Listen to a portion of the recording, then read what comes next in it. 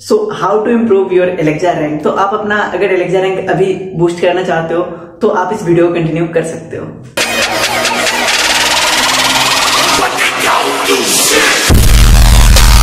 So guys, this is Richard If you are watching Richard If YouTube channel, you can subscribe my channel for WordPress, SEO and blogging related videos by hitting the red icon given below and you can also follow me on Instagram if you want make connection with me and वहाँ पे बहुत सारे आपको post मिल जाएँगे देखने को SEO and WordPress and blogging से related so just stay connected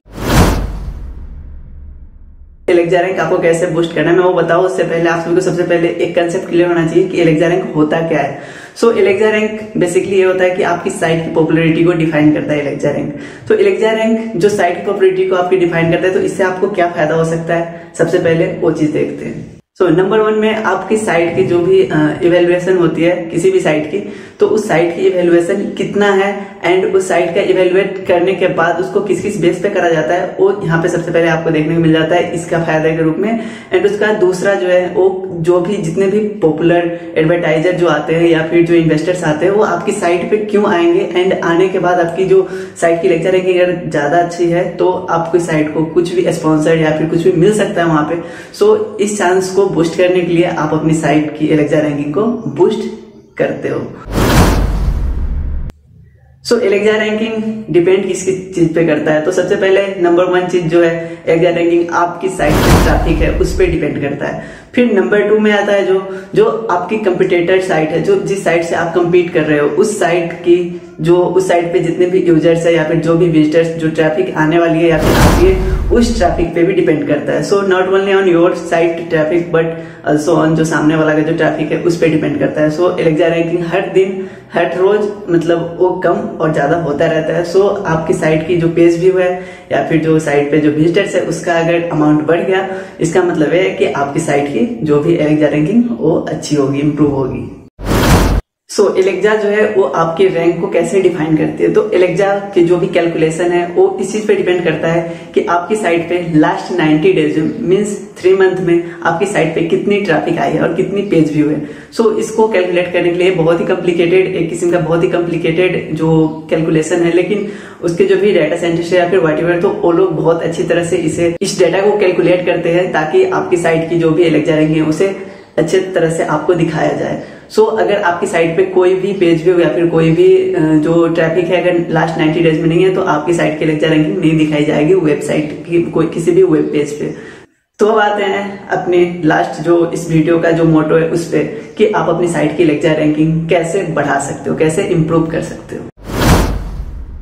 So number one thing is competitor site analysis तो कंपिटिटर साइट एनालिसिस होता क्या है कि आप अपने जो साइट है, उसके कंपटीशन में जितनी भी साइट है, सबकी एनालिसिस करो आप जाकर जैसे आप एनालिसिस करते हो उसकी तो आपको वहाँ पे एक जनरल आइडिया मिल जाता है कि उस पर्टिकुलर साइट पे कितनी ट्रैफ़िक है क्या क्या चीज़ है क्या क्या स्ट्रेटेजी है, और सारी चीज़ें मिल जाती है। तो जो कंप्लीटेड साइट एनालिसिस है, इसका दो ब्रांच है। सबसे पहले आपको वहाँ पे जाके कीवर्ड नंबर वन कीवर्ड है एंड नंबर टू जो मार्केटिंग स्ट्रेटेजी जो सामने वाला जो भी साइट का ओनर है वो यूज़ कर रहा है वो चीज़। तो आप वहाँ पे जाके सबसे पहले अपने कीवर्ड को सिलेक्ट कर सकते हो एंड कीवर्ड के बाद में वहाँ पे जाके कीवर्ड एनालिसिस करो एंड कीवर्ड पे कितना सारा सर्च वॉल्यूम हुआ कितना वेब ट्रैफ़िक कितना आ सकता है वहाँ पे एंड उसकी साइट पे कितना आ रहा है आपकी साइट पे कितनी है। सो so, आपको इस सब चीज़ पे जाके वहाँ पे कैलकुलेट करना है एंड सबको जाके एक पर्टिकुलर फॉर्म में आपको जैसे भी आप फॉर्मेट बना के एंड इसको कैसे बीट करना है, वो स्ट्रेटेजी अपनानी है। उसके बाद जो सेकेंड नंबर की चीज़ है कि जो मार्केटिंग स्ट्रेटेजी जो सामने वाला जो भी साइट का ऑनर है, वो यूज़ कर रहा है। वही स्ट्रेटेजी अगर आप यूज़ करते हो या फिर आप उससे एडवांस जाते हो मतलब बाई सीपीसी सीपीसी जो भी कैंपिंग होता है, वो सब अगर बाई करते हो आप तो वहाँ पे, आप वहाँ पे जाके बहुत अच्छी तरह से उसको बीट कर पाओगे एंड इससे आपकी लेक्चर रैंकिंग बहुत ही अच्छी तरह से इम्प्रूव होगी। सो so, जो कंप्यूटर साइट एनालिसिस की जो भी टूल है उसका जो लिंक है वो डिस्क्रिप्शन में मिल जाएगा आपको। उसके साथ साथ कीवर्ड जो रिसर्च का टूल है वो भी आपको मिल जाएगा नीचे डिस्क्रिप्शन में। वहाँ से आप लिंक के थ्रू गो थ्रू कर सकते हो एंड जाके वहाँ पे आप सभी चीज़ चेक कर सकते हो।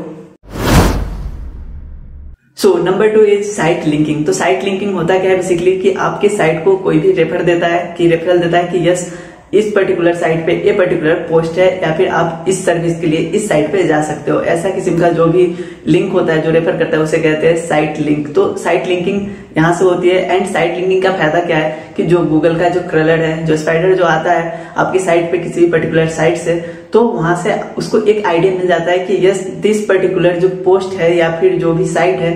is for this niche and वहाँ पे आपकी नीच डिफाइन होती है नीच के साथ साथ जो आपकी क्वालिटी कंटेंट की है एंड उसे दिखाना है कि नहीं सर्च इंजन में एंड क्या करना है उसके साथ, वो सारी चीज़ें वो स्पाइडर डिफाइन डिफाइन करता है एंड उसके बाद जो आपकी साइट की जो भी अथॉरिटी है, वो आपको बहुत ही अच्छी मिल जाती है एंड आपकी साइट की अथॉरिटी के साथ साथ जो आपका जो भी पेज व्यू है एंड जो ट्रैफ़िक है, वो भी इम्प्रूव होता है एंड ट्रैफ़िक इम्प्रूव होते ही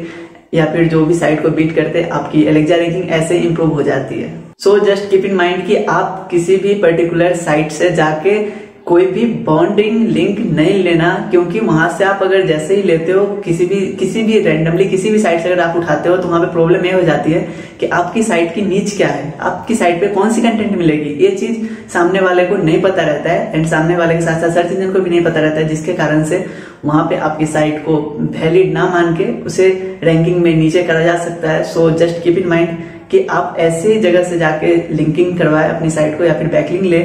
जहाँ पे आपकी नीच की हो। अगर आपकी नीच टेक है तो आप टेक वालों से ही लो। अगर आपकी नीच फ़ूड है तो फ़ूड वालों से ही लो। ऐसा नहीं है कि आप टेक वालों से ले रहे हो या फिर वाट आपको नीचे डिस्क्रिप्शन में वहाँ पे जो लिंक बैकलिंक चेकर है, वो उसकी जो साइट की लिंक है, वो भी आपको नीचे डिस्क्रिप्शन में देखने को मिल जाएगा। तो आप वहाँ से जाके किसी भी साइट की जो कंप्यूटर बैकलिंक है, क्या है, वो आप चेक कर सकते हो।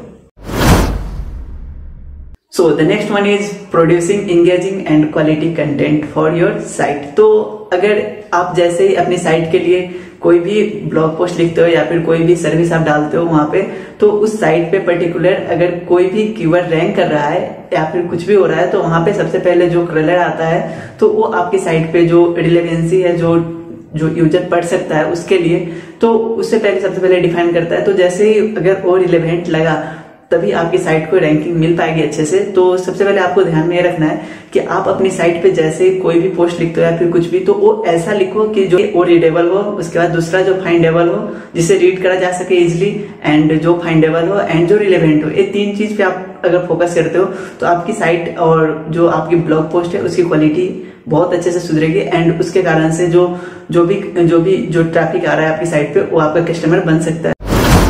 So the next one is SEO practice तो सबसे पहले आपको अपने साइट के लिए बहुत ही अच्छी एसईओ प्रैक्टिस करनी पड़ेगी। अगर आप अपनी साइट की विजिबिलिटी या फिर आपकी साइट की रैंकिंग जो भी बढ़ाना चाहते हो, लेकिन सिर्फ़ आप अपनी साइट की विजिबिलिटी या फिर प्रमोशन करके ही आप अपनी साइट पे कोई भी क्वालिटी ट्रैफ़िक नहीं ला सकते, क्योंकि वहाँ पे जो मैटर करता है, आपका कंटेंट उसके बाद जो आपकी टाइमिंग उसके बाद जो एस स्ट्रेटेजी आप क्या अपना रहे हो, वो सारी चीज़ें। तो इस सारी चीज़ें पे जो भी चीज़ है, उस सब पे आपको बहुत ही अच्छे से फोकस करना है एंड आपको अपनी साइट की जो भी ऑडिट करनी है, बहुत अच्छे से करनी है, ताकि ऐसी ऑडिट आप अगर सही से करते हो तो आपके पास जनरल आइडिया होता है कि आपकी साइट पे हो क्या रहा है एंड आपकी साइट पे होना क्या चाहिए एंड एवरीथिंग जो कि आपकी जो भी यूज़र है, जो भी ट्रैफ़िक वो चाहती है तो आप यूज़र की जो कन्वीनियंस है, उसके हिसाब से अपनी साइट को ऑप्टिमाइज करो एंड साथ में उस पर quality blog post and all हर एक चीज़ अगर आप ऐसे ऑप्टिमाइज करते हो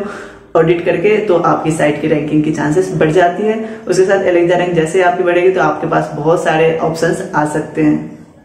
सो so, जो एस ऑडिट टूल का जो लिंक है वो भी मैं डिस्क्रिप्शन में नीचे दे दूँगा। हर एक लिंक आपको डिस्क्रिप्शन में देखने को मिल जाएगा। So just keep in mind कि जितने भी चीज़ मैंने बोला अभी, वो सारी चीज़ें पर आप अगर फोकस करते हो तो आपकी साइट की एलेक्जा रैंकिंग बढ़ेगी हंड्रेड टेन परसेंट बढ़ेगी। आप, मैं आपको अगर इंस्टा पे अगर आप हो तो मैं वहाँ पे आपको मेरा एक सेक्शन मिल जाएगा हाइलाइट्स का, जहाँ पे आप जाके चेक कर सकते हो मैंने अपनी साइट की रैंकिंग कैसे। लगभग पंद्रह दिन पुरानी साइट थी मेरी, जिसकी मैंने वो जो एलेक्जा रैंकिंग है, उसे मैंने कैसे इंप्रूव करा था एंड बहुत अच्छे से करा था। एक ही बार 28, 22, 23 के पे आ गई थी मेरी साइट तो बहुत अच्छे से आप अगर ऑप्टिमाइज करते हो उसे तो आपकी जो साइट की रैंकिंग की चांसेस बढ़ जाती है। So thank you for watching this video guys make sure that you subscribe to my channel अगर नहीं सब्सक्राइब करा तो प्लीज़ सब्सक्राइब कर दो एंड उसके बाद आप मुझे इंस्टाग्राम पे भी फॉलो कर सकते हो। अगर आप वहाँ पे आपको कोई भी प्रॉब्लम है तो आप डीएम कर लो।